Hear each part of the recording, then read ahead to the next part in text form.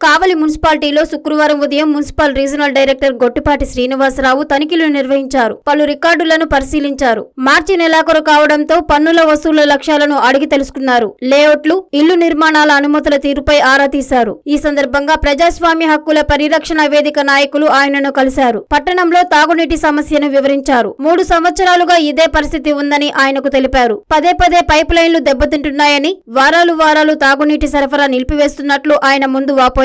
మరమ్మతులకు పెట్టే ఖర్చుతో కొత్తవి మూడింతలు పెట్టే అవకాశం ఉందని ఆయన దృష్టికి తీసుకెళ్ళారు. పారిశుద్ధ్యం అధ్వానంగా ఉందని మురికివాడలు అసలు పట్టించుకోవడం లేదని తెలిపారు. అక్రమ లేఅవుట్లు ఇంటి నిర్మాణాల్లో ముడుపులు జరిగిన పనులపై విచారణ జరిపించాలని డిమాండ్ చేశారు. ఈ కార్యక్రమంలో ప్రజాస్వామ్య హక్కుల పరిరక్షణ వేదిక నాయకులు కె. భాస్కర్ పసుపులేటి పెంచలయ్య జ్యోతి బాబురావు నాగరాజు కృష్ణమోహన్ పాల్గొన్నారు.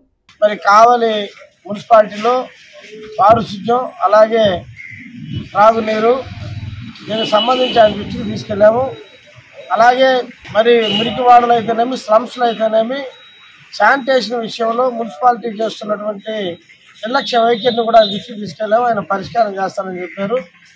మరి ఎట్టి పరిస్థితుల్లో మనం ఎన్నిసార్లు ఆర్డీఓ గారికి కమిషనర్లకి విజ్ఞప్తి చేసినప్పుడు కూడా ఈ మొండి ప్రభుత్వం మరి చేసే పరిస్థితులు లేవు. వాళ్ళకి డబ్బులు కూడా లేవేమో. కానీ చెత్త మీద కూడా పన్ను వసూలు చేసుకుంటున్నటువంటి చెత్త ప్రభుత్వం కనీస పారిశుద్ధ్యం కానీ నీటి నీటి తాగునీటి విషయాల్లో మరీ ఘోరంగా వ్యవహరిస్తూ ప్రజల్ని నానా ఇబ్బందులు పడుతూ పారిశుద్ధ్యం సరిగా లేనందువల్ల కాలంలో ఎప్పుడు లేని విధంగా డెంగ్యూ జ్వరాలు అలాగే మలేరియా జ్వరాలు జనాలు రోగాలతో పునారులతో ఉన్నారు. ఆ దృష్టిని ఆర్జేడీ గారి దృష్టికి తీసుకెళ్ళడం జరిగింది. ఆయన స్పందించి చేస్తానని చెప్పారు. లేని పక్షంలో మరి ప్రజాస్వామ్య పరిరక్షణ హక్కుల వేదిక తరఫున మరి కొంత కార్యాచరణ తీసుకుని దీని మీద పైపుల రిపేర్లు వీటితోటే కాలం వెలబుస్తూ ఉన్నారు. అందుకని తక్షణమే తాగునీటికి సంబంధించినటువంటి చర్యలు మేము తీసుకోవాలని కోరుతా ఉన్నాము. ఈ ట్యాంకర్ల పేరుతోటి ఈ ట్యాంకర్లు తోలడము కేవలం కాంట్రాక్టర్ల యొక్క వాళ్ళ అవినీతికి అది సరిపోతూ ఉంది.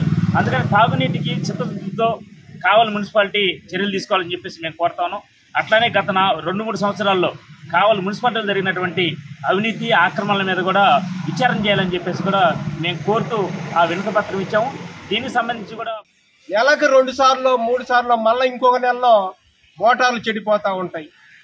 మరి సమ్మర్ స్టోరేజీ నిర్మించి కావల పట్టణ ప్రజల దాహాద్యం తీర్చేదానికి సమ్మర్ స్టోరేజీ నిర్మిస్తే కోట్ల రూపాయలు పెట్టి మళ్ళా అమృత పథకం కొన్ని కోట్ల రూపాయలతో నిధులు ఇస్తే కావల పట్టణ ప్రజలకి త్రాగునీటి గుట్టి నీళ్ళు పుష్కలంగా ఇయలేనటువంటి ఈ మున్సిపాలిటీ చూస్తూ ఉంటే ఈ అధికారులు చూస్తూ ఉంటే ఆశ్చర్యం కలిగిస్తూ ఉంది. దీని మార్పు చెందాల అధికారులు కూడా. ప్రజలు కూడా ప్రజల తరపున మేము అడుగుతున్నటువంటి మా పార్టీలని మా ప్రజలు కూడా ఆదరించాలా? మా పోరాటాల్లో కావల పట్టణ ప్రజలు కూడా కలిసి రావాలా?